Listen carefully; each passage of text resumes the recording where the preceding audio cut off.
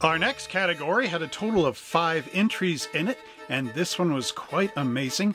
This is MONMH4 Monster Figure Diorama. So without further ado, let's check out these amazing builds. The Battle of Colossus. This model was built out of the box and depicts Sokurah the magician walking with the genie lamp while two of the Cyclopses are fighting the dragon. Up we have Frankenstein's Lab by StandArts along with the Horizon Frankenstein's monster on a scratch-built base. Kendall added the gauge faces and LED lighting to the lab machinery. The base and wall are made from styrofoam and the floorboards are cut from poplar. For his second entry, Kendall has constructed a Metropolis scene from the 1927 movie. The machine mensch is from X Plus and the Rotwang figure is from Starlight Projects. Kendall incorporated the clear plastic feet from the Maria kit base into his own custom lighted base. The base is various materials MDF, styrene, clear acrylic, and the wall is styrofoam.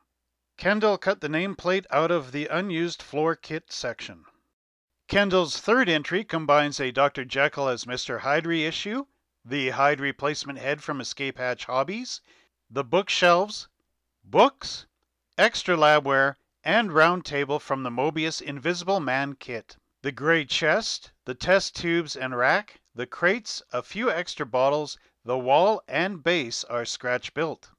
Kendall made a light box for the window and the books and bottle labels are photoshopped printed and glued on. Kendall's final entry for 2023 recreates a scene we never got to see from the 1932 Universal Studios movie The Mummy. This diorama was made with the Shadow Creations Iconic Scenes Volume 2 and the sarcophagus is from the Moebius Mummy Kit.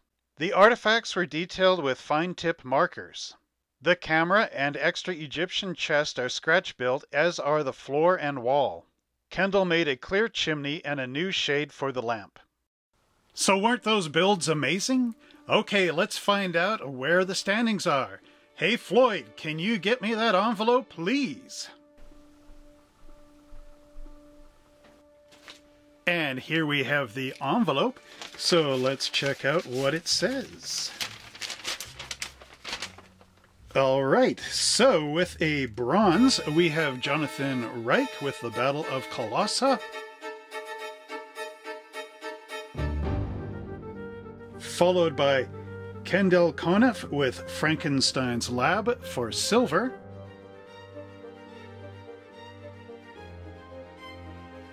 And in conclusion, we have in gold place Kendall Conniff with Dr. Jekyll as Mr. Hyde.